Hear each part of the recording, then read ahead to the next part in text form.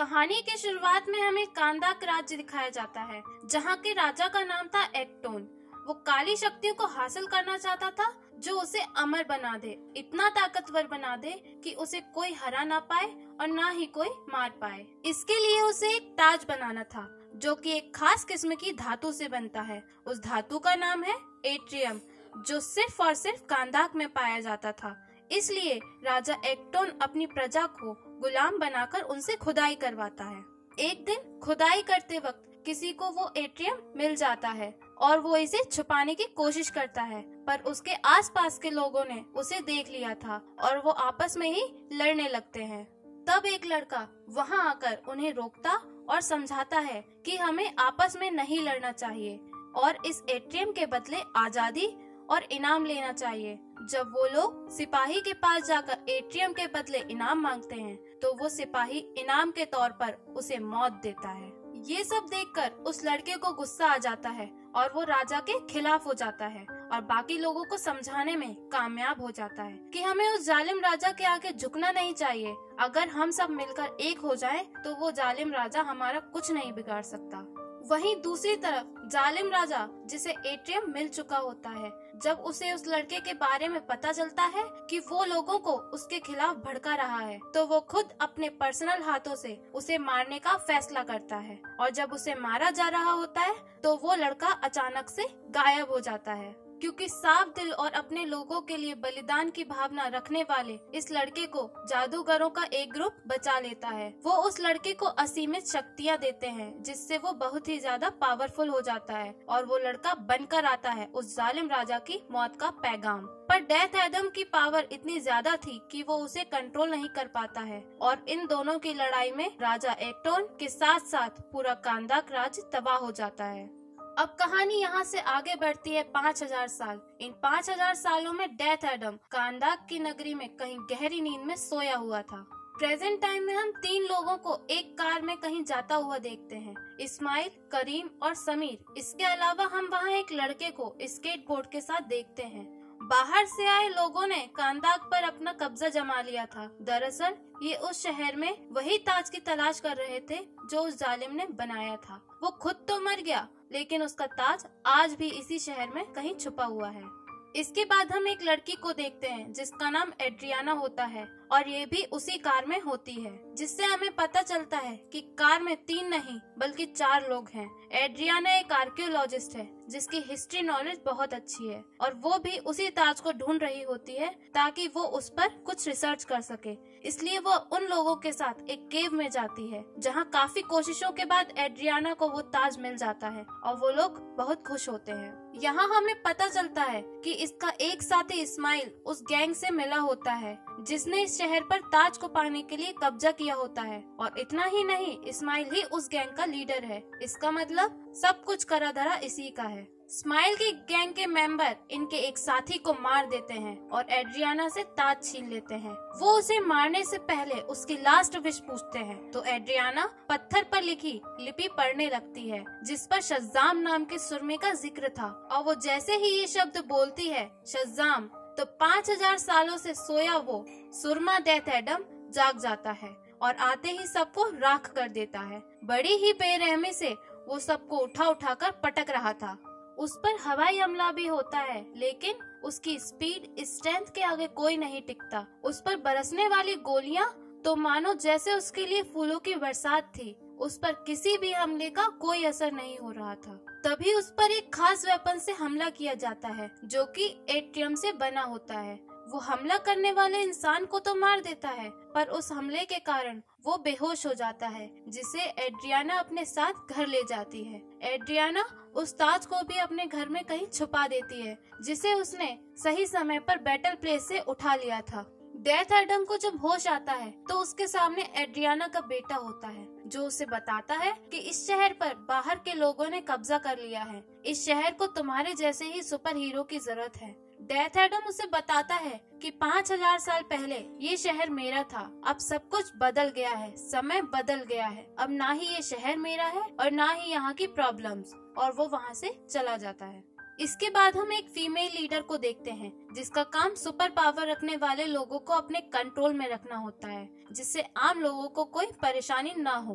वो यहाँ पर एक सुपर हीरो हॉकमैन से बात करती है। वो उसे बताती है कि डेथ एडम वापस आ गया है, और उसे रोका ना गया या उसे गुस्सा आ गया तो वो फिर से वैसी ही तबाही मचा सकता है, जैसा कि उसने पाँच हज़ार साल पहले किया था। हॉकमैन भी उसकी बात से एग्री होता है। और उसे बताता है कि मेरी टीम में तीन लोग हैं, जिसमें शामिल थी साइक्लोप्स, जिसके पास में तूफ़ान की पावर थी, एटम स्मैशर, जो खुद के साइज़ को बड़ा या घटा सकता है, और डॉक्टर फेट जो कि इंटर डायमेंशनल ट्रेवलर है और साथ ही पास्ट और फ्यूचर देख सकते थे। दूसरी तरफ़ हम उस गैंग के लोगों को देखते हैं, जिन्होंने इस शहर पर कब्जा किया था, और वो एड्रियाना के पीछे पड़े होते हैं। क्योंकि उन्हें पता है कि ताज इसी के पास है। तभी डेथ एडम वहाँ आकर उसे बचा लेता है और उस गैंग का बैंड बजाने लगता है। हॉकमैन वहाँ अपनी टीम लेकर आ जाता है। अब एक तरफ़ गैंग के लोग तो दूसरी तरफ़ हॉकमैन की टीम। डेथ एडम अकेला ही इन सब का सामना करता है। हॉकमैन की टीम भी समझ जाती है कि इसे हराना हमारे वश में नहीं है। ये अकेला ही हम सब पर भारी है। तभी डेथ एडम इन पर मेहरबान होता है और यहाँ से चला जाता है। डॉक्टर फेट को महसूस हो जाता है कि वो तज एड्रियाना के पास है और वो उससे बात करता है, उससे मदद माँगता है। तो एड्रियाना उससे बोलती है कि तुम लोग तब कहाँ थे जब हमें ये गैंग के लोग चैन से जीने नहीं दे रहे थे? तुम अपने आप को हमारा हीरो बताते हो। हमारा हीरो डेथ एडम है। तो वो लोग उसे बताते हैं कि जिसे वो हीरो समझ रही है, उसने पाँच हज़ार साल पहले इस शहर को अपने गुस्से की वजह से बर्बाद कर दिया था। ऐसा दोबारा ना हो, इसीलिए वो चाहते हैं कि एड्रियाना उनकी मदद करे। उनकी ये बात सुनकर एड्रियाना मान जाती है। एड्रियाना उन लोगों को डेथ एडम के पास ले जाती है, ताकि सब लोग बैठकर आपस में बात कर सके। तभी एड्रियाना के पास कॉल आता है, और उसे पता चलता है कि इस्माइल ने इसके बेटे को किडनैप कर लिया है। इसीलिए वो जस्टिस फैमिली और डेथ एडम से मदद मांगती है, और ये लोग राज़ी होकर साथ काम करने को तैयार हो जाते हैं। इसके बाद ये लोग जब इस्माइल के सामने होते हैं तो वो एड्रियाना के बेटे को गन पॉइंट पर रखकर उससे बोलता है, मुझे ताज दे दो और मैं तुम्हारे बेटे को छोड़ दूँगा। एडम खड़ा वहाँ इस्माइल को देख रहा होता है। दरअसल, इस्माइल एक ऐसे केज में था जो बना था एट्रियम से। इस्माइल जान चुका था कि जैसे सुपरमैन की कमज़ोरी है क्रिप्टोन, वैसे ही एडम के लिए खतरा है एट्रियम। इसलिए लड़के की जान बचाने के लिए एडम एड्रियाना को उसे ताज देने के लिए बोलता है। पर बेईमान इस्माइल ताज लेने के बावजूद भी उस लड़के को गोली मार देता है। तभी एडम उसे बचाने के लिए अपनी फुल स्पीड के साथ आगे बढ़ता है गोली रोकने के लिए। मगर इस वक्त उसका गुस्सा इतना ज़्यादा था कि वहाँ एक जोरदार धमाका होता है, जिसमें इस्माइल मारा जाता इस बड़ी तबाही के बाद हॉकमैन एडम के पास जाता है और उसे पूछता है, तुम क्यों लोगों की जान लेते हो? तुम हीरो हो या विलन? इसके बाद डेथ एडम अपनी बैक स्टोरी बताता है कि आज से पाँच हज़ार साल पहले, जब हम सभी राजा एक्टोन के गुलाम थे, तब मेरा बेटा हृत अपने लोगों के लिए, खुद के बलिदान के लिए भी तैयार था। ये बात जादूगरों को बहुत पसंद आई, जिसकी वजह से उन्होंने मेरे बेटे को जालिम राजा का सामना करने और राज्य के लोगों को बचाने के लिए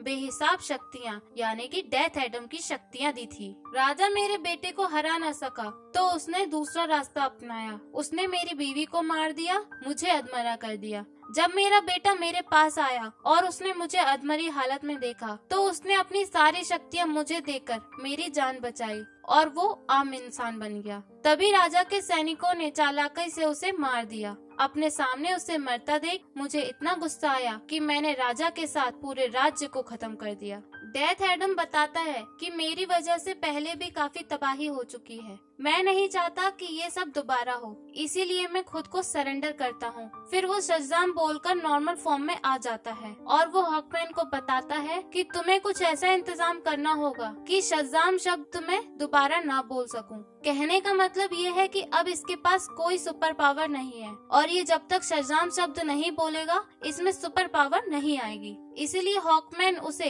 एक जेल में बंद करता है, जो पूरी तरह से पानी में डूबी होती है। और इसके मुँह में ये डिवाइस लगा दिया जाता है, जिससे ये कुछ बोल ना सके। दूसरी तरफ़ हम इस्माइल को देखते हैं, जो ताज के साथ मर गया था। उसका शरीर फिर से ज़िंदा हो रहा था, क्योंकि उस ताज में लिखा था कि मृत्यु ही अगला जीवन है। उसकी मौत ने उसे शैतानों के पास पहुँचा दिया, जहाँ सभी शैतानों ने उसे सैबेक बना दिया। उसे उस राजा एक्टोन का तख्त चाहिए था, क्योंकि वो ही बचा हुआ आखिरी वंशज था। काली दुनिया का द्वार खोलना ही उसका मकसद था। डॉक्टर फेट अपनी टीम के साथ सेबेक को रोकने वहाँ जाता है, लेकिन वो अच्छी तरह से जानता था कि सेबेक को रोकना उनके बस में नहीं है, लेकिन इन्हें आम लोगों को तो बचाना है। इसीलिए डॉक्टर फेट एक पावर फ़ील्ड क्रिएट करता है, और वो अकेला ही सेबेक से बिड़ जाता है। वो ये भी जानता था कि सेबेक को अगर कोई रोक सकता है तो वो डेथ एडम ही है। इसीलिए वो मरने से पहले अपनी टेलीपैथी पावर यूज़ करके एडम से बात करता है और उससे मदद माँगता है। लेकिन इस वक्त तक सेबेक ने काली दुनिया के कुछ द्वार खोल दिए थे। सेबेक की सेना कांदाक में तबाही मचा रही थी। तभी एडम वहाँ आ जाता है और वो सेबेक के साथ फाइट करने लगता है। वैसे तो ये अकेला ही काफ़ी था, पर हॉकमैन भी इसकी मदद करता है। एड्रियाना और उसका बेटा कुछ लोगों को अपने साथ लेकर काली दुनिया से आए, सेबेक के सेना के साथ लड़ रहे होते हैं। तभी डेथ एडम सेबेक को उसके ताज के साथ ऐसे फाड़ देता है और इस तरह से वो ताज हमेशा के लिए तबाह हो जाता है। इसके साथ ही शहर सुकून में आ जाता है और डेथ एडम को अपना मसीहा मान लेता है। डेथ एडम एड्रियाना के बेटे से बात करता है। वो उसे बताता है, तुम्हें एक नए नाम की ज़रूरत है। तो डेथ एडम बोलता है कि, आज से और अभी से मेरा नाम है ब्लैक एडम। लास्ट में हम एक स्क्रीन को देखते हैं। वही फीमेल लीडर जिसने डेथ एडम को रोकने के लिए जस्टिस फैमिली को बुलाया था, वो ब्लैक एडम से कहती है तुम्हें इस शहर का हीरो बनकर रहना है तो रहो, मुझे कोई प्रॉब्लम नहीं है। लेकिन तुमने इस शहर में काफ़ी तबाही मचाई है, इसीलिए मैं तुम्हें ऑर्डर देती हूँ कि तुम इस शहर से कहीं बाहर नहीं जाओगे। तुम्हें जो करना है, इस शहर में रहकर करो, यहाँ के लोगों की देखभाल करो, लेकिन यहाँ से बाहर मत जाना। तो ब्लैक एडम कहता है, मुझे कोई ऑर्डर नहीं दे सकता, और ना ही इस दुनिया में कोई ऐसा है जो मुझे रोक सके। मेरा जो मन करेगा, मैं वो करूँगा। तो वो बोलती है हाँ शायद तुम्हें इस दुनिया का कोई भी सुपर हीरो न रोक पाए, पर मैं किसी ऐसे को जानती हूँ जो इस दुनिया से नहीं है। तभी ब्लैक एडम गुस्से में उस स्क्रीन को फोड़ देता है, और वहाँ धुआँ धुआँ हो जाता है, और उस धुएँ के बीच से निकलता है सुपरमैन, जो ब्लैक एडम से कहता है, हमें बात करनी चाहिए। और ब्लैक एडम की हँसी के साथ ये मूवी खत्म हो जाती है।